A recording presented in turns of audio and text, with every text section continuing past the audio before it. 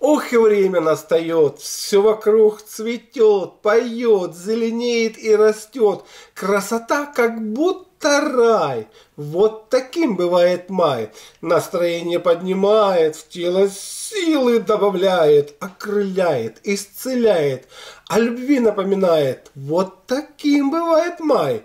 Ты его не прозевай.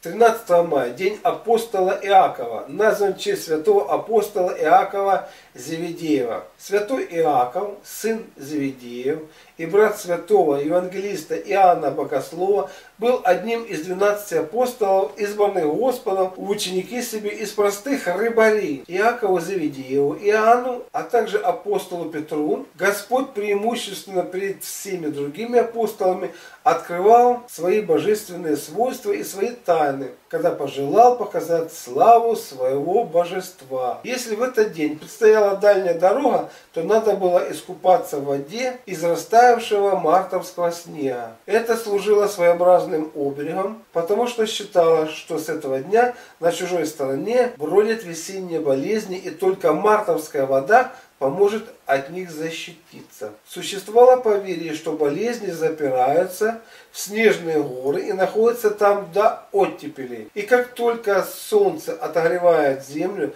а снег таял, весенние лихорадки разбегались по свету и нападали на неосторожных людей. А вода из мартовского снега служила защитой. В месяц май предпочитали не жениться. Существовала поговорка «В мае женися, всю жизнь мается будешь». И наши предки всегда следовали данному правилу. Приметы. Из березы много сока течет, много будет летних дождей. Если в канун Иакова дня ночь стояла теплая и звездная, жди урожая. Ясный восход солнца предвещал жаркое сухое лето.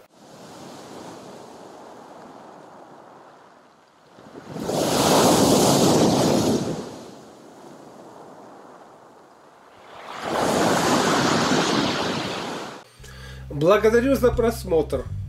Если вам понравилось видео, ставьте лайк, звоните в колокольчик и подпишитесь на канал.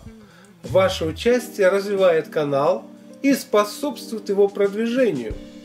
Вы можете посетить бесплатно мою авторскую библиотеку на сайте Малахов Про. Доброго здоровья и до новых встреч!